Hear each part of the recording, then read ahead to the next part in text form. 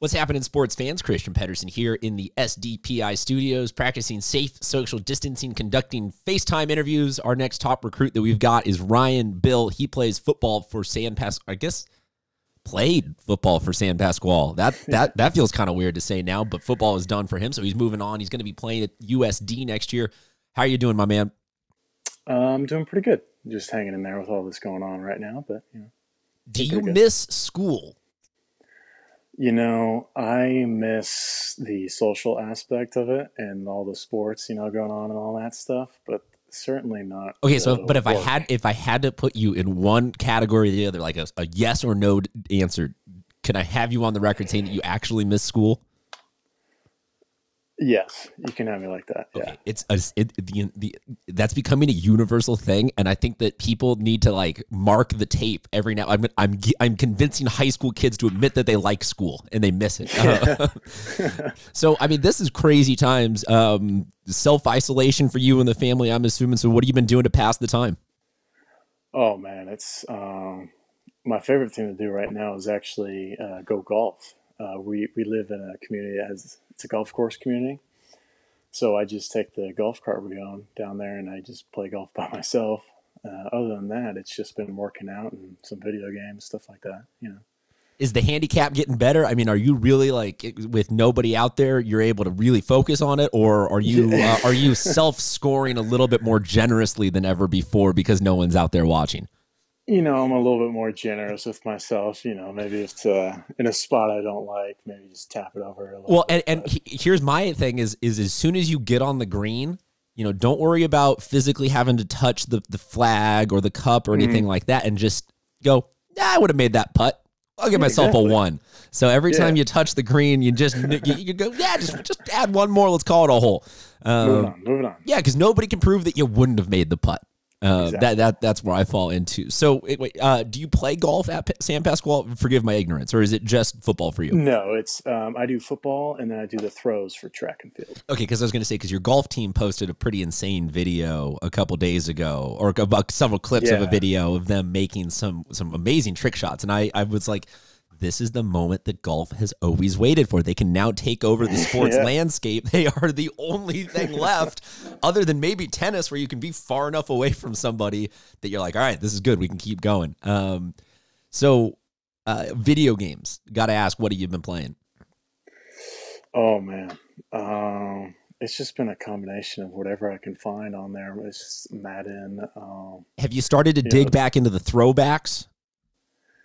You know, um, not yet. I'm not there yet, but uh, right now it's just been you know Madden, Call of Duty, uh, just the simple things. You know. Hey man, sometimes the easiest, simplest is the best. Um, I yeah. I I, I asked the the throwback game thing just because for me and my generation, uh, people are starting to revisit the N64 and play Mario mm-hmm. Kart again and stuff like that. But I feel like to your generation, that's not even a throwback. That's a we never had that, and we don't know what that is, and we don't want, we don't have any like attachment or interest to that. Mm-hmm. So are you guys busting out like is is somebody going to get out an original Xbox and be like, oh, like I'll play some? I, I, I'm just asking because I feel like we all fall now in this weird different world of what video games like the lowest possible standards are for what we're willing to play these days.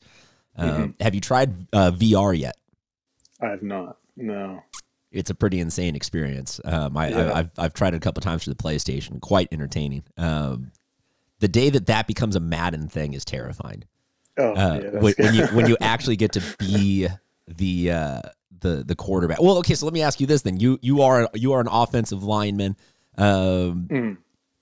If that was a reality and you could play Madden virtual reality, do you enjoy being an offensive lineman enough that you'd want to go and be the offensive lineman in that play, or would you go be Patrick Mahomes and, and, and be that guy? You know, I think I'd mix it up a little bit because I think it'd be pretty fun to be Patrick Mahomes and you know. Uh, it's like so. What I'm what I'm what I'm getting at what, what I'm getting at here is that no matter how much every lineman loves their job, everybody still has just a little bit of that inner in themselves where they're like, I want to be that guy scoring the ball. And I, I love when exactly. I can get linemen to it, exactly. admit that because the visual is funny of, of uh, some of the you know offensive guards and tackles being like, I'm the guy dropping back, throwing the passes, but you know yeah. that every one of them has dreamed of that moment where they're just able to throw that one good spiral. And, and I love mm. hearing guys talk about that because you guys break your necks day in and day out to keep that guy safe and never get a chance to actually, you know, be on either end of that, you know, one big pass or run or something like that. So for exactly. you, for football, you're going on to play at USD. Why USD? Um, you know, just in the recruiting process, they were just, you know, they seemed very interested in me. Um, they were close by, you know, always keeping in touch, and um, just the coaches I'm talking, they were talking, they were great guys, great coaches, and just whenever when I got down there, um, you know, watch a couple of these their spring games and stuff like that. Uh, it's just a great football team, great program. Okay, so, so I, I was excited to play. So I want I want you to listen to this question and, and, try to hear it as an objective. You're a senior and you can educate other guys' question and not necessarily as any sort of an insult, but you're not going on to play at the Division One FCS school or FBS. Mm-hmm. Sorry, you're not playing at the D1 FBS school here in town. You're not going to Alabama or like a Power Five school. You're going to something that's a little more, you know, a little more suited to being one step down, but you're going to get playing time and it's going to be an mm. academic thing. And was there ever a point in the recruiting process where you had to say to yourself, man, this is just a better opportunity all around for me instead of trying to go be that 10th guy trying to get a a D1 offer at San Diego State? Like, talk a little bit about that if you can to some of the younger kids out there listening. Um, yeah, it was just looking through my options in recruiting and stuff. I was, it was just trying to decide if I wanted to be, you know, a backup at some big school or if I could come in and, you know, work, you know, for my first redshirt year or whatever, and then end up becoming a starter at uh, FCS instead of uh, FBS. Well, I, I, think I, I, am sorry to kind of cut you off. I think I yeah. asked because I see a lot of kids on social media, you know, hunting for that big offer, that big mm-hmm. offer. But I think that for a lot of you guys out there, take kind of a little bit of this advice and you don't have to always be hunting for that big D1 offer where it's like, hey, I'm going to, you know, if I don't get that, I'm going to say no to everything else or wait for this. Sometimes you just got to pull the trigger on what feels right holistically all around for you. And yeah. When did you actually get the USD offer? Is there a good story surrounding that? Oh, um, you know, I think I was sitting at my desk. It was either playing video games or it was doing some homework. And um, Coach Sutton down at USD gives me a call. And um, he just calls me and says uh, they're going to take a, a, chance on me and they're going to offer me. And I mean, it, it wasn't like a good story or anything. so you just, hang up the phone and you're like, Mom, no more homework tonight. Yeah, I got D one. I you know we're uh, like this is happening. I'm uh, yeah. we'll, we'll, we'll, go one, one, night of no no geography or whatever this is because we need to celebrate. Um, yeah. So that I'm sure that was a pretty good feeling. Yeah. Um, I wanted to ask you a little bit. Uh, we had Coach Clark on the show mm. earlier last week talking about what he's just up to. been Ben Boardman, and he was telling some stories about coaches, and I was hoping maybe you could have a funny story you could tell about Coach Clark. Um, just I want to preface this with for those of you that I'm sure were not listening the last first time we had Coach Clark on uh, during the football season, he's very passionate about his kids, and I, I think there's a free flowing personality there because he came on this show and we asked him about a, a hypothetical of uh, what movie characters or TV characters you would add to your football team, and he didn't choose anybody because, and I quote, he said.